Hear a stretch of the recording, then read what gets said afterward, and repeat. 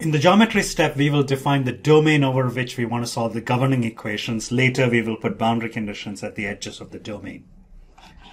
To start ANSYS, come to the search space and type in workbench and I'm running version 18.2 and once the workbench window comes up go under analysis systems and drag in static structural into the project page.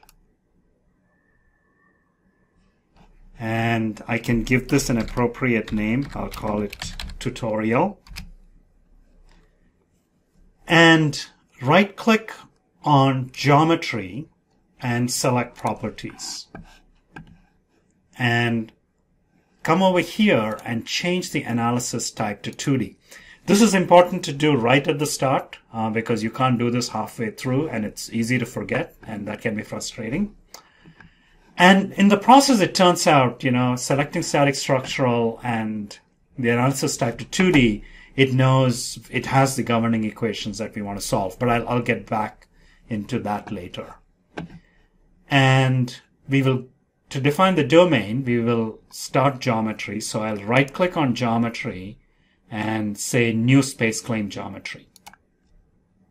And it will say starting SpaceClaim, which is the new geometry engine. I'll say close over here. I'll go under file SpaceClaim options, units, and change the type to imperial and um, the length to inches. I'm an SI person myself, but here we are required to work in inches. And then I will say, uh, I'll go, I'll say I want to do, select the new sketch plane. And once I do that, I go, you know, towards the upper right, which will select the XY plane. And then I'll click and I'll say plan view. So I should be looking at the XY plane. It's important you do the sketch on the XY plane. And I will sketch a rectangle. So I'll go and select this tool here under the sketch um, options. And I'll come to the center. I should see over here, snapping to curve center. I can zoom in a little bit more. And that'll make it coincident with the origin. And then I can draw my rectangle and then hit the space bar. That'll freeze the dimensions. And I want the length to be 5. So if I go to the problem statement, the this length is 10 and I'm doing half half of that length so 5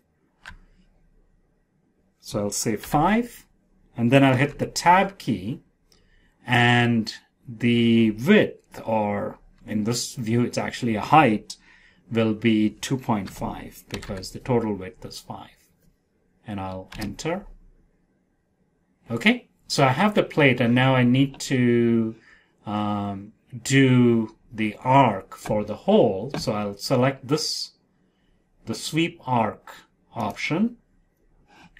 And again, if I zoom in here, uh, using the, the middle mouse wheel, and if I translate by holding down the control and using the middle mouse button, okay? So again, I want to make sure I'm seeing the snapping to endpoint at the upper left. And so that's the origin. And then the, the radius, I want it to be actually point, or the diameter, I want it to be 0.5. Okay, so I'll make that 0.5 and then I want that to be 90 degrees. And I can, um, so I have the right dimensions there, so I don't need to go and modify it. And I should be able to go to the 3D mode now, and if I hover over the model, I'll see I have one surface that has two components. And I'll highlight this component, I'll right click and say delete. And then if I come here and say zoom extends, okay, I have the, the one fourth of my plate for the hole. And that's all I need to do in SpaceClaim. Um, so I will close out of here. Go to the workbench window and say file. Um, I'll say save. I'll go to an appropriate folder and call this plate underscore width underscore hole and select save. I can also save it in the WBPZ format. Let me do that. I'll say file, archive, and again I'll go to um, the, the right folder and I'll say save. And we don't have results or imported files, but we'll just select those and say archive. And now if I go to uh, the folder, I should see I have this WBPZ. So that's the only file I need to, to restart.